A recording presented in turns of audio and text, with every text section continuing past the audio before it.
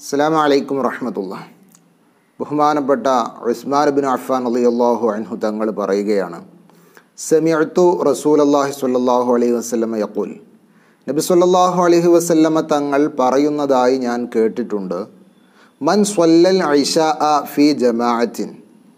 ഒരു മനുഷ്യൻ ജമാഅത്തായിട്ട് ഐഷ നിസ്കാരം നിർവഹിച്ചാൽ ഫക്ക അന്നമ കാ നിസ്ഫല്ലൈൽ അവൻ രാത്രി പകുതി നിന്ന് നിസ്കരിച്ചവനെ പോലെയാണ്. വമൻ സ്വല്ല സുബ്ഹ ഫി ജമാഅത്തിൻ. സുബഹ നിസ്കാരം ആരെങ്കിലും ജമാഅത്തായിട്ട് നിസ്കരിച്ചാൽ ഫക അന്നമ സ്വല്ലല്ലൈല കുല്ലഹു. ഒരു ദിവസം രാത്രി മുഴുവനായും നിന്ന് നിസ്കരിച്ചവനെ പോലെയാണ്. അപ്പോൾ രാത്രി പകുതി നിസ്കരിച്ചവനെ പോലെയാണ് ഐഷാ നിസ്കാരം മാത്രം ജമാഅത്തായി നിസ്കരിച്ചാൽ. അതേപോലെ തന്നെ സുബഹ നിസ്കാരം ജമാഅത്തായി നിസ്കരിക്കുകയും കൂടെ ചെയ്താൽ അവൻ രാത്രി മുഴുവനായും നിന്ന് നിസ്കരിച്ചവനെ പോലെയാണ് ഹബീബ് മുഹമ്മദ് റസൂലുല്ലാഹി സല്ലാഹു അലഹി വസല്ലം. ഈ രണ്ട് നിസ്കാരങ്ങൾക്ക് മറ്റു നിസ്കാരങ്ങളെക്കാൾ പവിത്രതയും ഇത്രയധികം സ്ഥാനവും കൊടുക്കാൻ എന്താണ് കാരണം? ബഹുമാനപ്പെട്ട ഹബീബ് മുഹമ്മദ് റസൂലുല്ലാഹി സല്ലാഹു അലഹി വസല്ലമ തങ്ങളുടെ മറ്റൊരു ഹദീസ് അബൂഹുറൈറ റളിയല്ലാഹുവിനു നിവേദനം ചെയ്യുന്നത് കാണാം.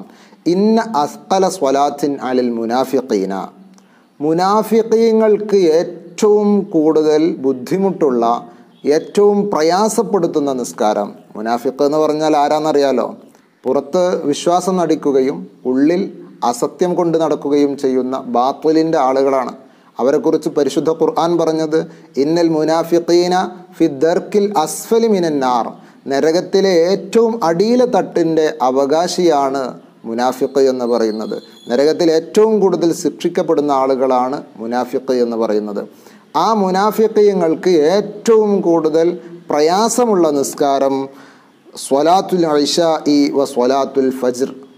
സ്വലാത്തുൽ ഐഷ ഐഷ നിസ്കാരവും സുബഹ നിസ്കാരവുമാണ്. അപ്പോൾ മുക്മിനീങ്ങൾക്ക് ഏറ്റവും കൂലി കിട്ടുന്നതും മുനാഫിക്ക് ഏറ്റവും വെറുക്കുന്നതുമായ നിസ്കാരമാണ് ഈ സ്വലാത്തുൽ ഐഷാവും സ്വലാത്തുൽ ഫജറും സുബഹ നിസ്കാരവും ഐഷ നിസ്കാരവും. അതുകൊണ്ട് പ്രത്യേകമായി ഐഷ നിസ്കാരവും സുബഹ നിസ്കാരവും ജമാഅത്തായി നിർവഹിക്കാൻ വേണ്ടി നമ്മളെല്ലാവരും ശ്രദ്ധിക്കണം. അള്ളാഹു സുബാനഹുവത്തായ തോഫിയൊക്കെ നൽകുമാറാവട്ടെ. ആമീൻ. അസ്സലാമു അലൈക്കും വറഹമത്തല്ലാഹി തആല വബറകാതുഹു.